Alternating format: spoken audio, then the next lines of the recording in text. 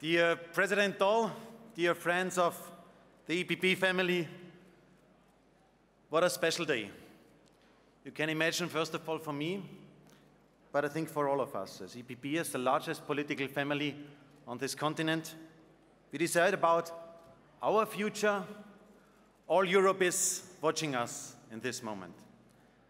I want to first of all thank again Alex for the fair competition during the last weeks we had and we saw. I stand here not only to ask you for the support as being a candidate. I stand here to ask you for a mandate. A mandate to change Europe, to open a new chapter for our European dream. My Europe starts in Wildenberg. You saw it already in the video. It's my home village, a small village like thousands of others in the European Union. I see there's a primary school where I have mixed feelings because I hadn't always done my homework when I went to school. There is a bakery where I bought my first sweets. There is the room where we played with our band, and I got the first time the idea what it means to play in a team, to be in a team. What do people in such a village in Wildenberg think about the European Union? Dear colleagues, they love Europe. No doubt about this. But the European Union? A lot of people today see the European Union mainly as a project for the high skilled, for those who speak several languages, who work for a few years in London, then in Brussels, and in Madrid. The elites. And dear colleagues, this Europe of today must become a Europe of our citizens. I want to have a Europe which is respecting the interests of the citizens, which is protecting the interests of the citizens, and where people in Europe feel at home in Europe. That is what I want to achieve. Such a Europe, dear friends, such a Europe starts with listening to the people, picking up the concerns of people. Again, being back in Wildenberg, when I'm in a service in my Catholic church, next to me there are old people with wheelchairs. And behind these wheelchairs, there are women from abroad. Women from abroad to take care about these old people. I must tell you that these women had to leave their home to earn money in Bavaria. Dear colleagues, we have not yet a really united European Union. The living conditions, the standards of healthcare differ a lot in the European Union. People feel as second-class Europeans in some of the regions of Europe. And that's why I dream of a Europe where students consider to go, first of all, to Bucharest and Krakow and not always to Oxford or to Harvard. And a Europe where we never give up to create good living conditions in the south, north, in the east, in the west, simply for everybody in the European Union. Such a Europe, dear friends, would create a feeling of being at home. I give you I give you a second example for what I feel as concerns. When I leave my apartment in Brussels and I go to the European Parliament, I pass by the subway station where one of the terror attacks in Brussels happened. And I still have the day in mind when Mercedes, my head of cabinet, called me and she told me, Manfred, we are checking all our assistants, all our staff members, whether they are fine, whether they are alive. And she told me, we are missing one trainee. We cannot reach him. Existential fears, a whole city under shock, like in Madrid, Berlin, Paris, Brussels, London. Dear colleagues, today we know that the lack of cooperation, the lack of exchange of data made it so easy for terrorists to attack us. I dream of a Europe that cares about the victims. It fights with all means against terrorists and leaves no room for any kind of national egoism when it is about the security of our citizens. And that is a, a Europe where people can feel at home. I give you a third example for the concerns of the people. And that will be the top issue for next year's elections in 2019. Migration, an issue we discussed during the last three years intensively in the European Union. I was during the summer break in Bulgaria. I visited Boyko Borisov. Boyko showed me the border between Bulgaria and Turkey. There is a small river, On the one side, there is a 50 meter high Turkish flag. On the other side, there is a 50 meter high Bulgarian flag. So Boyko showed that here Europe starts in a way. Two continents meet there. And dear colleagues, Boyko Borisov showed me that he guarantees that there is illegal migration stops. We have there no illegal migration on this border. And he told me you can do so if you have the political will to decide to protect our borders. And dear friends, I want to create this. The EPP must be the party of strict border control. We have to assure to our European citizens that nobody can cross the external border of the European Union without a passport. Illegal migration has to be stopped, and this will create a feeling of being at home in a safe and in a protected home, dear friends.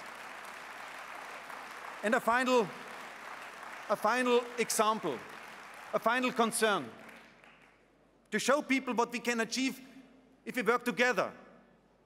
Cancer, dear colleagues. 40% of us in this room 40% of the Europeans will face the risk of cancer during their life. My brother died due to cancer. And dear colleagues, I have the talks in mind.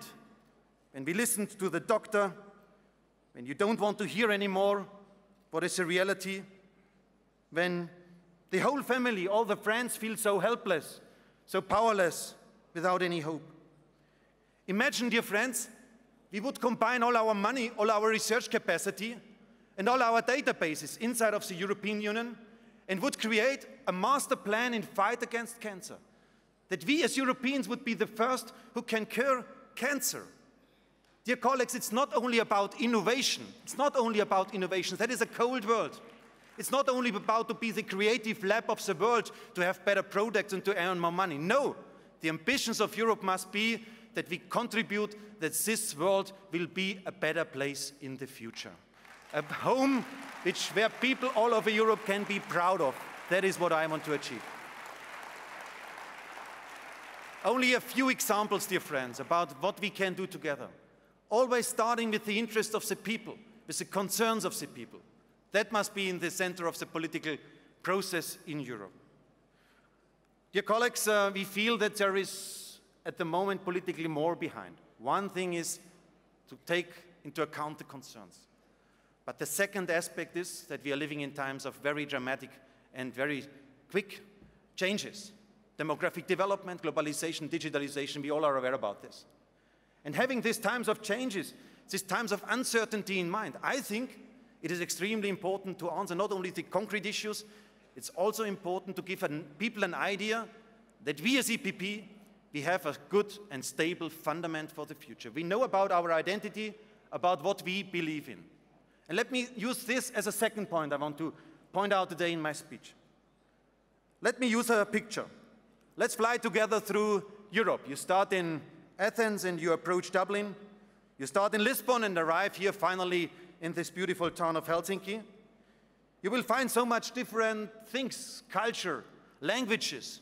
We have different kind of food, so Europe is so colorful, so rich, so diverse. It's so good to be a European. But we have one thing in common. In every village, in every city you fly through, with a few exemptions, you will find in the middle of these villages and cities a Christian church. When I use this picture, I am heavily attacked in social media that this sounds, when I remind about the Christian heritage of this continent, that sounds so old fashioned, so conservative, so backward looking. I tell you, I don't care. I think that it is important to have a fundament. I think that it is important to describe the fundamental values of this continent. We are proud of this and we will protect these values, dear friends. But it is important but it is important, dear colleagues, to define them, to implement them in today's reality. We are Christian Democrats. And as Christian Democrats, we are aware about the importance of every human being. We do politics for every citizen, regardless of their social background, their age, their education, their place of birth. We as Christian Democrats, we formed today's Europe, Europe which is for us a synonym for freedom, freedom of expression, of press, of religion. We as Christian Democrats, we believe in a Europe of subsidiarity. Not every issue in Europe is an issue for Europe. We have a lot of respect to our national colleagues in the national parliament, even in the regional and local communities. You, dear colleagues, we, we don't accept discrimination, but for example, family law is a purely national responsibility and Europe should take care about this. Dear colleagues, we as Christian Democrats, we are not egoists. We know about our global responsibility. For example, when I see that in developing countries, children must work for products in our European supermarkets, then I think that this is not acceptable anymore. Children must have a school and not a job, dear colleagues and friends. And we as Christian Democrats, we believe in economic freedom. We discussed it yesterday in the round table. More investments to create 5 million new jobs, especially for the young generation of Europe. But on the other hand, to keep the social face of Europe, the social market economy alive. And finally, we as Christian Democrats, we believe in close cooperation with our neighbors, no doubt about this, but I think it's time to define the final composition of today's European Union, and that means for me that Turkey cannot become member of the European Union. We have to define these clear criteria. Dear colleagues, that is what Christian democracy means today. And may I remind you that 60 years ago, the socialists in Germany voted against the idea of Konrad Adenauer to work closer together with France. May I remind you that the Greens voted 30 years ago against the creation of today's single market. And may I remind you that the Liberals vote today against the legislation in a stronger fight against terror and more security on European level. So I don't need socialists. I don't need liberals, any kind of new movement or the Brussels bubble to tell us what is the future of Europe. We founded today's Europe. We did it as Christian Democrats. We are proud of this and we open the next chapter for this continent, dear friend. And then, and then there is a second answer on the question on the, on the table, which we have to answer. One identity question is we are Christian Democrats. And the second is a question which is put on the table from Salvini, from Le Pen, from, yeah, the Polish PiS, for example. Dear colleagues, they talk a lot about the nationality. They tell people, be proud about your nation, and we are a better nation than the others. That is, they tell the people, and they add, to hell with Europe. That is their message. And what is our answer? I want to quote, like Horst Seehofer did it yesterday, a former president of my party, Franz Josef Strauss. And he said already in the 60s of the last century, Bavaria is my home, Germany is my nation, and Europe is my future. And I don't allow anybody of these nationalists and egoists that say create a split between these identities. They belong together for us, and we are proud that we achieved this togetherness between the identities. Dear colleagues, stable ground. And when we talk about the future, then I want to add a third point. First is concrete issues, concerns of people. Second is identity. And the third point is how we do politics, how we do European politics. And there, dear colleagues, the first and most important thing is when we listened to the Brexit campaigns, I told people, I want to have my sovereignty back. And it worked. People feel at the moment not connected to Europe not involved. And we have to change this. The only way to have a good future for our European dream is to make Europe democratic. We did it already last time with Jean-Claude Juncker. I want to thank Jean-Claude. I learned a lot during the last four years under his leadership as a young group leader in the European Parliament. I think together, Jean-Claude, with all the others, with Donald Tusk, with Antonio Tajani, with the team in the European Parliament, we did a great job as EPP Today, Europe is a better place than five years ago, and that is what we can deliver as an EPP success story towards the voters. Thank you, Jean-Claude. Today we decide about the next candidate for the elections, and the idea that the first time a parliamentarian, the first time the leader of the biggest group is running as Commission President is also a symbol for more democracy in the European Union. That is what we have to do. Then we have to add a program. It will be not my program, it will be our program. I want to talk with the associations of the party, with all the member parties. Together we can achieve a clear program, probably finally only five, six points, which we present as promises to the voters what they get when they vote for the EPP, to make it clear and to show all the differences to the other political parties in the European landscape. And finally, I am a bridge builder. That is part of my political DNA. Not theoretically, I and we did it in the European Parliament together with the presidency, with the coordinators, with all the national delegation leaders and rapporteurs. We are the largest group in the European Parliament, but when it is about the voting behavior on legislation, we are the most united group in the European Parliament. I am proud of this achievement that we kept Europe together, we did it together. Dear colleagues, this is our Europe, a Europe I work for, I fight for, I will always defend, I want to innovate, and I love. I am a European. I want to open a new chapter, not a chapter of anger, but a chapter of optimism. Not a chapter of fears, but a chapter of hope. And not more nationalism, but a new chapter of solidarity.